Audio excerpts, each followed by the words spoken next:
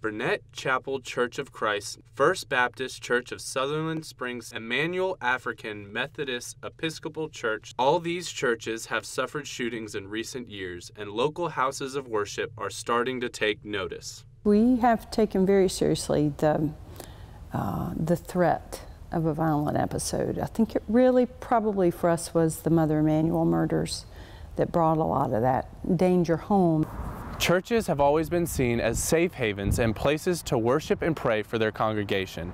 But with the increase in violence over the past few years directed at churches, churches like these have started to implement new training programs and security measures.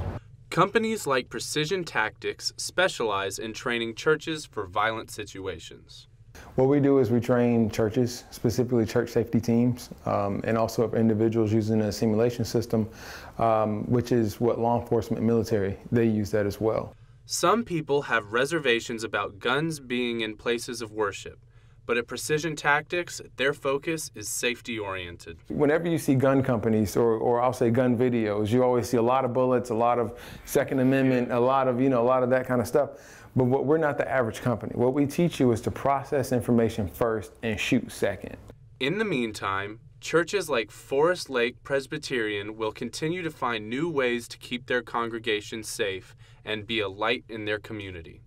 For Carolina News, I'm Chad O'Donnell.